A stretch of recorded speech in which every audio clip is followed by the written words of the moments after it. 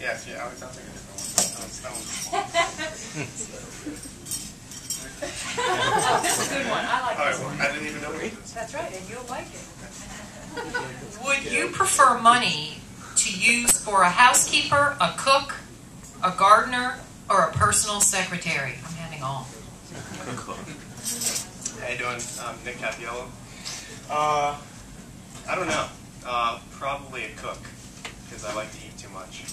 Uh, basically, uh, yeah, I definitely have probably a Chick-fil-A cook or a P.F. Chang's cook, something like that. That'd be a good one. But uh, that's about it. That's what I would spend my money on, or maybe all of them. Why not? Why not be that rich? But uh, that's about it. And uh, I'm Nick Capiello, and I would like to have.